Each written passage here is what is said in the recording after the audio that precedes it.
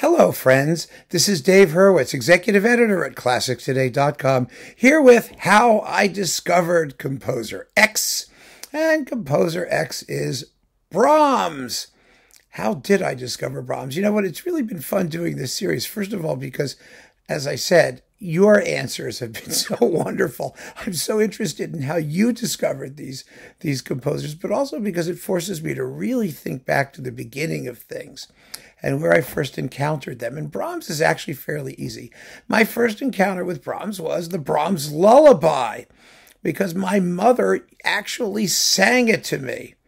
And if you knew my mother's voice, well, you know, that's a whole other issue. That side of the family was notorious for their their lack of, of singing prowess. But the Brahms lullaby in English was something I knew when I was really, really, really little. And I knew it as Brahms lullaby. I didn't know Brahms was a person. I just thought the thing was called Brahms lullaby. You know, or or it wasn't written by Brahms. It was the one that was sang to Brahms. I don't know. I never thought I didn't know who Brahms was. I didn't care. I was a little kid, you know, and all I heard was ya da da da da da ya da da da da da da. It was lullaby and good night. Shut your big fat boogie eyes. I don't, I don't remember how the words went. It had lilies and a bed and lay down now and rest. May your slumber be blessed. That was Brahms' lullaby. I remember it like it was yesterday. Unbelievable. I don't know how old I was when my mother sang it to me. Two? I don't know.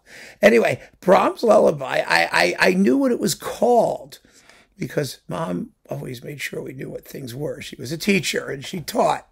So it was Brahms' Lullaby. And that's how I first heard the name Brahms. I didn't associate it with anything else. And then later, I heard Brahms' First Symphony because it was like my mother's favorite piece of the whole world. I mean, when, when I did when we did we did you know most beautiful melodies and whatnot mom insisted i do the finale of brahms first. I mean brahms first was her piece. And so we all knew brahms first. We heard it fairly frequently. And again i never associated brahms first symphony with the brahms lullaby. I never put them together. And for for me growing up brahms was it was a, he was a one shot wonder. He wrote brahms first but the, the, fact that there was a second or a third or a fourth, I had no idea. And in fact, those two works, the lullaby and the first symphony, were so much a part of my everyday life, my sort of DNA, musically speaking, that when I started to listen to other music, to serious music, to classical music, and I became conscious that there was a sort of body of work out there that people called classical that was you know composers who wrote pieces. I never thought of brahms as one of those at all. I just knew brahms first and i knew brahms lullaby and i didn't need any more. And so when i started listening to classical music i was not naturally someone who was drawn to brahms it's very funny because those two pieces were completely internalized, but the rest of Brahms didn't interest me at all. I liked lots of other music better than I liked Brahms to the extent I knew any more Brahms. And I didn't. I really didn't. I didn't know very much. I I I, I liked Dvorak. I liked I liked oh, you know, Tchaikovsky. yeah, and I was like Beethoven. I was really really aware of who they were as composers, as composers of a body of work. But Brahms, he was completely unknown to me, other than the guy who wrote the lullaby and, and the first symphony.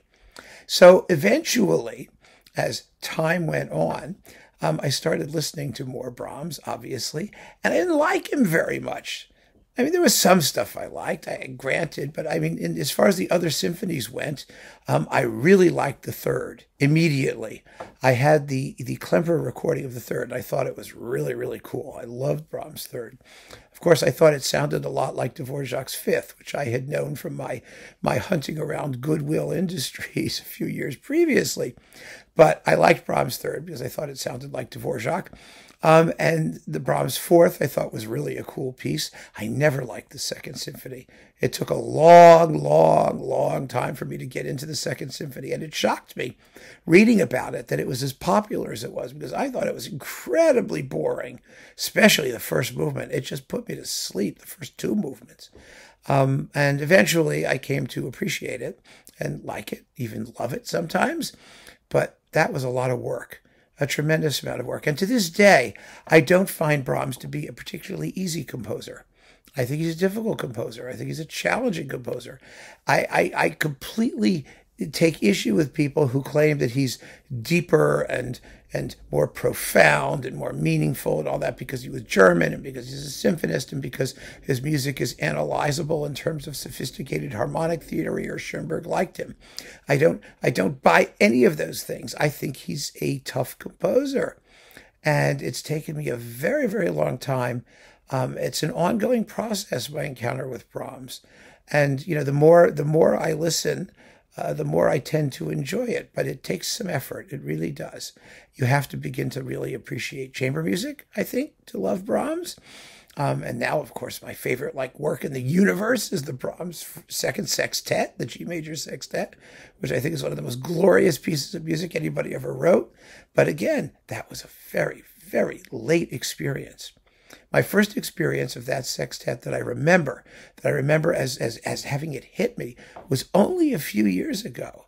It was at a Christmas soiree given by, by Styra Avins, the Brahms scholar, in her apartment, in her little apartment um, in Greenwich Village with some friends, and they played the sextet, and I turned pages. I was playing, I was turning pages for the quintet for the pianist and the quintet.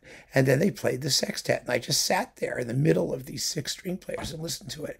And it was an experience like I've never had before. It blew me away completely. Um, which, you know, one of the things about my discovery of Brahms that I think has really been so rewarding, actually, is that it has come late. And you know, it, he wasn't a composer. So many people grow up in the classical music world, particularly. You know, you're you're taught you have to love Brahms. You know, he's the three B's: Bach, Beethoven, Brahms. You must love them. You must respect them. You must honor them. You must worship. You know, I, and I I was never taught any of that. I was never taught I had to like anything I didn't like.